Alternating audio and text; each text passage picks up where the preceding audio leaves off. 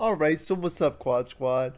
Today we're doing a little installation video and upgrade to the Bambu P1P or any of the Bambus. I needed a I needed a hardened steel nozzle so I could start printing with like PETG carbon fiber and nylon carbon fiber um, and of which um, I was buying some nylon carbon fiber and then I saw the the Phaetus conch hot end on sale also. I bought one of the kits off of AliExpress. I wasn't sure how well it was going to work. You know, it came with some hardened steel, some brass, and all that, all separate pieces. And then I was like, you know, in the two years that I've had my P1P, I haven't changed one nozzle.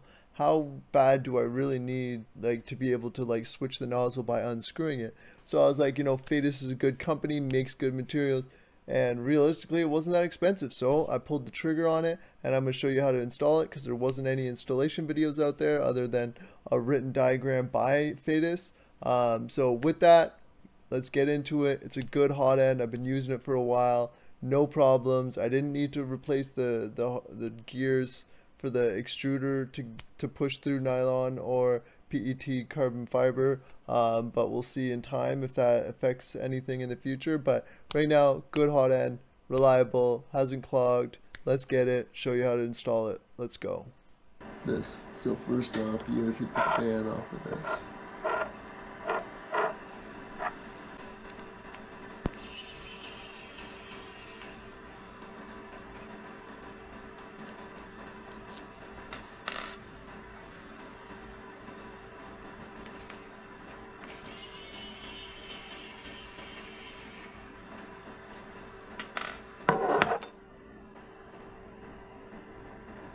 Okay. Yep. Alright, so now we don't need that hot end anymore. This is out. Yep. Seems like you need that metal clip, which is a pain in the ass. So, you need to use that grease, and then you've got your thermistor and heater thing. Alright, so I slightly mistaken, so you still have to use the clip. Uh, so first off, we gotta put the thermal paste onto the end of the nozzle.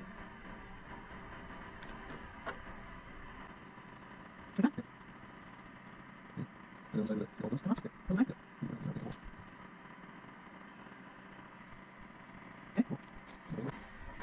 then, and then, Right. uh, yep, the heater time.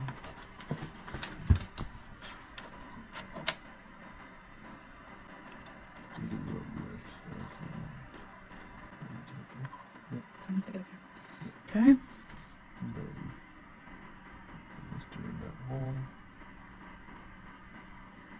And then put the clip on.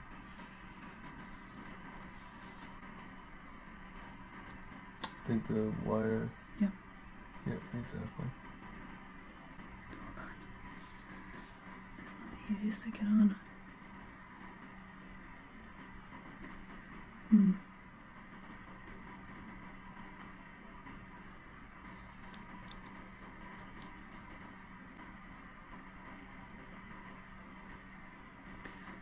Sorry, this is the wrong way.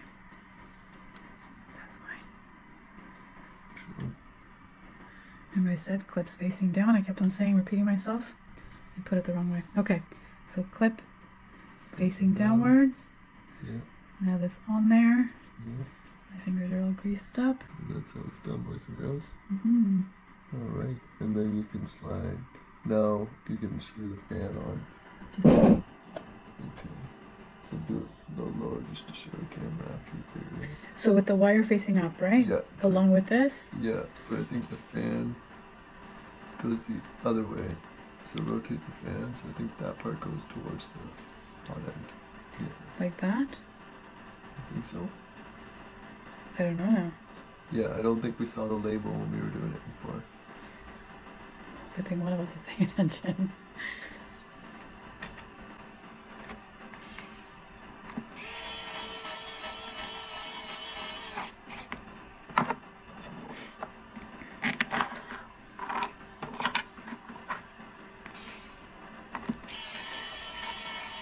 Okay. Oops, this been done? Alright, so now we have the pan, and we have We have to put the rubber in? Yeah, then we have to put the rubber on it. And then we have the finished product. And let's see how it goes. It has some like weird specifications on like lining up the nozzle and the heat break, but I think it comes pretty aligned.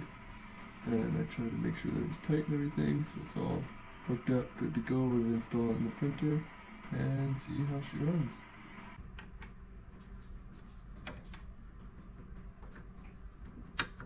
It goes underneath. Oh, thank you. No problem. yeah, then it would have never lined up that way. Okay. Good thing you're here, and a good thing.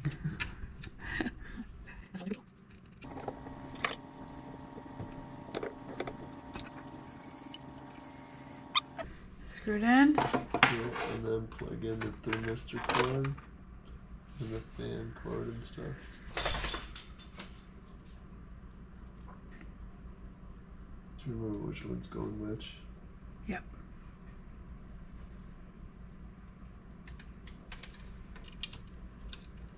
I do.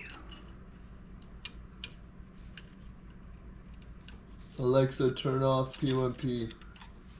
Okay. Okay. So one and two are in. Okay. Okay. And lastly is the cover head.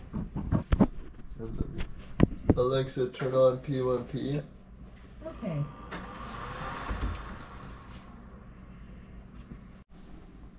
Alright, and then when you start everything up, you want to make sure that the thermistor is working, which it seems that it is. And then you can put the faceplate.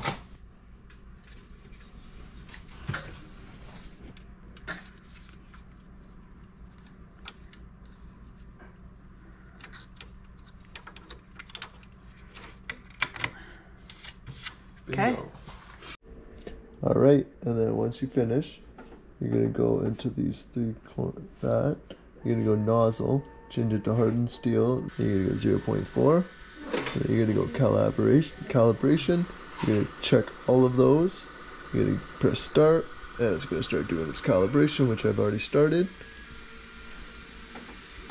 It's gonna do bed, vibration, everything. I also um, realign the belts, loosened them up, moving it around, tightened it back up. So it's to do that calibration as well. And then you've got a conch Phaetus hot end. Working. Hopefully. Alright.